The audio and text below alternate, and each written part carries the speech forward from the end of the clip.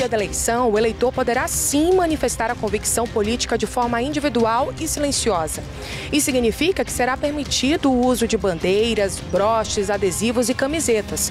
Mas vale lembrar que, de acordo com a lei eleitoral, provocar aglomeração com pessoas uniformizadas ou portando produtos personalizados que identifiquem candidato ou candidato, partido, coligação ou federação será proibido no decorrer do pleito.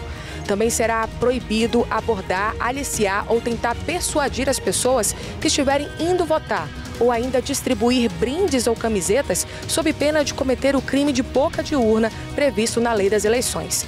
A pena prevê detenção de seis meses a um ano e multa. É inovação, é compromisso com a cidadania, é Grupo Norte de Comunicação nas eleições 2022.